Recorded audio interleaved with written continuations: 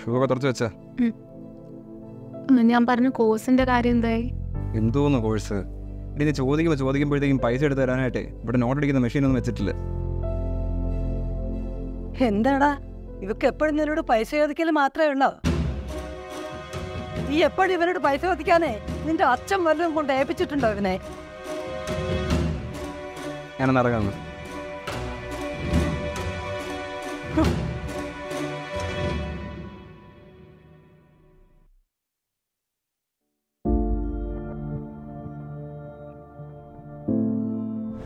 അമ്മ നല്ല വൃത്തിയുള്ള കൂട്ടത്തിൽ അവിടെ നീ നോക്കിയും കണ്ടൊക്കെ നിന്നോണം. അമ്മയ്ക്ക് വൃത്തി ഇച്ചിരി കൂടുതലാണെന്ന് പറഞ്ഞപ്പോ ഇത്രയും പ്രതീക്ഷിച്ചില്ല.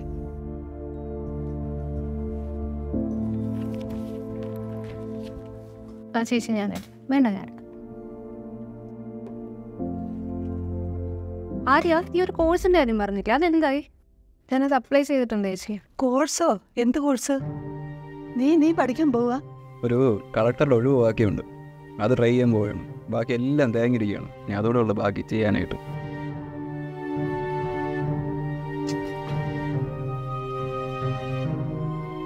സമയത്ത് ആഹാരം കഴിച്ചില്ലെങ്കിലേ ഓരോ അസുഖങ്ങളാ.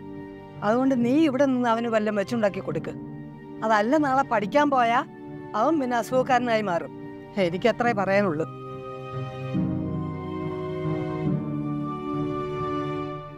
നിനക്ക് ഇവിടെ തന്നെ ആവശ്യത്തിൽ കൂടുതൽ പണിയുണ്ട്. അതുപോലെ മര്യാദയ്ക്ക് ചെയ്തു തീർക്കുന്നില്ല. ഇനി വേറെ പഠിക്കാൻ പോകത്തിന് കുറവും കൂടെ ഉള്ളു.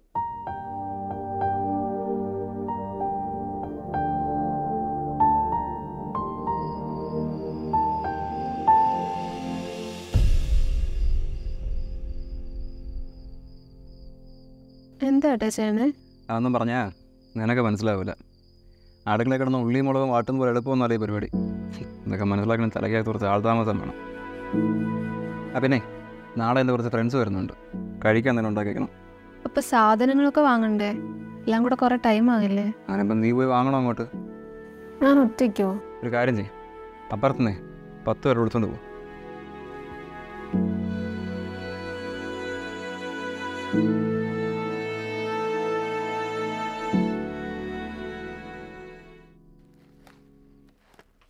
അമ്മ ഇതിവിടെ? ഇതെന്തോന്നു? ഏ? ഇതൊന്നും വേണ്ട. ആവശ്യമില്ലാത്ത സാധനങ്ങളൊക്കെ വാങ്ങിച്ച് പൈസകളെ കൊണ്ടുവയ്ക്ക് കൊണ്ടുവയ്ക്കായി.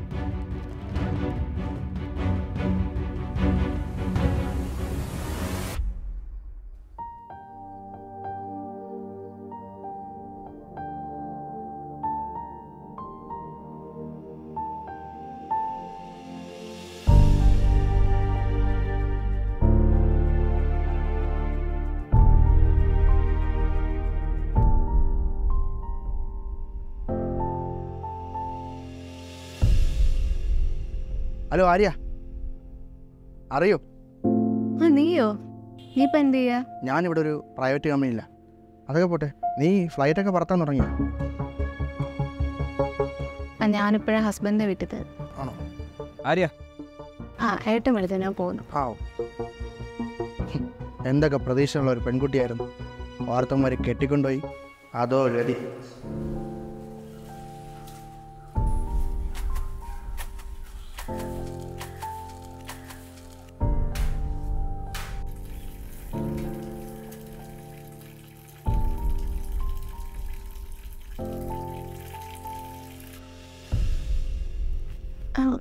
നോക്കിയേ. നല്ല രസമുണ്ടല്ലേ? ഞാനിതൊന്ന് ഓർഡർ ചെയ്തോട്ടെ. നീ ഇപ്പോൾ ഒന്നും ചെയ്യണ്ട. ചുമ്മാ ഓരോന്ന് വാങ്ങിച്ചു വിടാനായിട്ട് എന്റെ പൈസയൊന്നുമില്ല. അല്ല നാനൂറ് രൂപയേ ഉള്ളൂ ഒന്ന് ഓർഡർ ചെയ്തോട്ടെ. ഒരു നാനൂറ് രൂപയുള്ള നിനക്ക് പറയാം. നാനൂറ് രൂപയ്ക്ക് നാനൂറ് രൂപ തന്നെ വേണം. അത് ചുമ്മാ ഉണ്ടാകത്തൊന്നുമില്ല. വീട്ടിലൊരു പണി ചെയ്ത് കുത്തിയിരുന്നിട്ട് നിനക്കതൊന്നും പറഞ്ഞാൽ മനസ്സിലാവുകയൊന്നുമില്ല.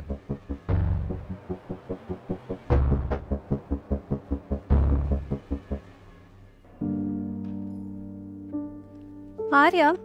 ആ ചേച്ചി നീ ഇതൊന്ന് നോക്കിക്കേ. കൊള്ളാലോ. രണ്ടായിരത്തി അഞ്ഞൂറ് രൂപ ആയുള്ളൂ. കണ്ടപ്പോൾ ഇഷ്ടപ്പെട്ടപ്പോൾ മേടിച്ചതാ. എങ്ങനെയുണ്ട് കൊള്ളാം. നല്ല കളർ ചേച്ചിക്ക് ചേരും.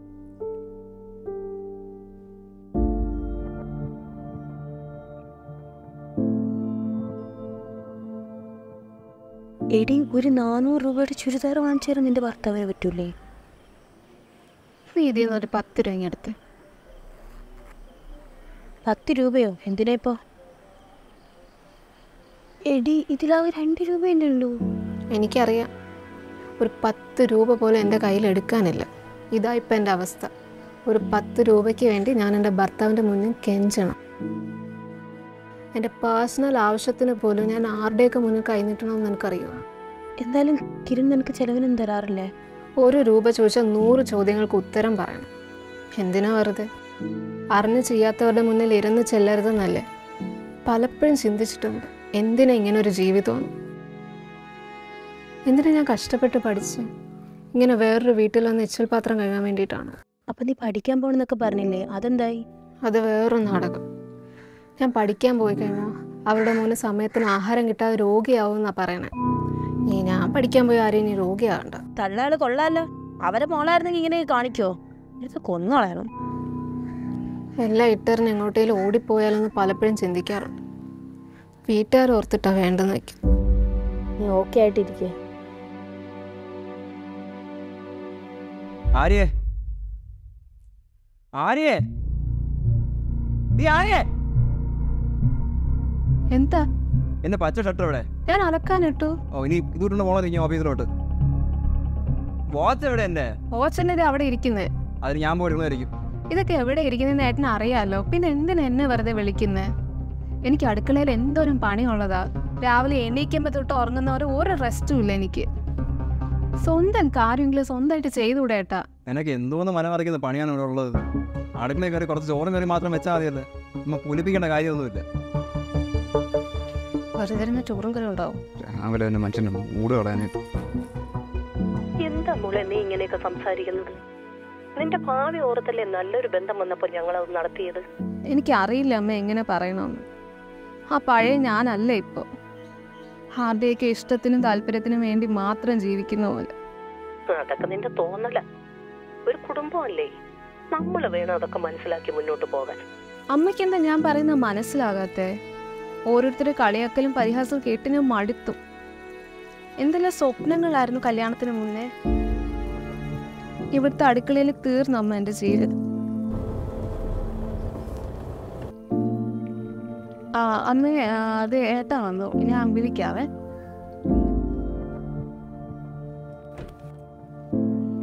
എന്തേ ലേറ്റായ? ഫുഡൊക്കെ റെഡിയാ. ഫ്രണ്ട്സ് ഒക്കെ എവിടെ? അവരാരും ഇല്ല. ഇല്ല അങ്ങോ എന്താ ഇല്ലാത്ത? വരില്ലെങ്കിൽ ഒന്ന് വിളിച്ച് പറഞ്ഞൂടെ. ഞാൻ എന്ത് കഷ്ടപ്പെട്ടുണ്ടാക്കിയ ഫുഡാ?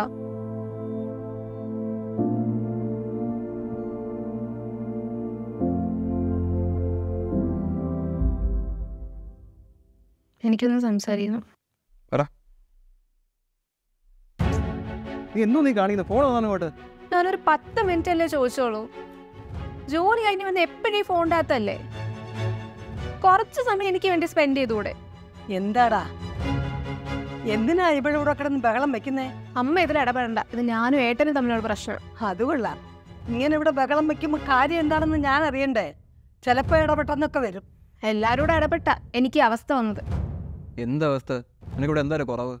കുറവോ കൂടുതലോ ഒന്നും അല്ല എന്റെ ആവശ്യങ്ങൾ എന്താണെന്നോ എന്റെ ഇഷ്ടങ്ങൾ എന്താണെന്നോ ഏട്ടൻ ഇതുവരെ തിരക്കിയിട്ടുണ്ടോ?